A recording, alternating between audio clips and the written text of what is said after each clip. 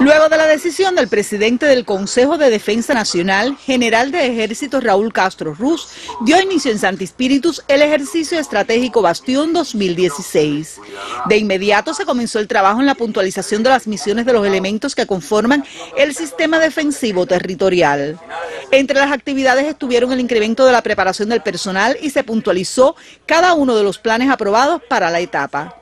Este miércoles, los ejercicios estuvieron centrados también en la entrega del habituallamiento para los días en campaña, el alistamiento de la economía para la guerra, la puntualización en el terreno de las misiones de las pequeñas unidades y se realizaron acciones para lograr la preparación y cohesión combativas.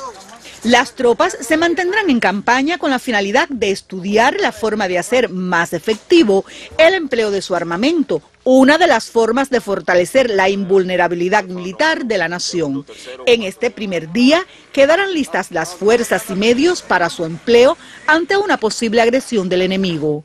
En Santi Spiritus, Norma Concepción, Sistema Informativo de la Televisión Cubana.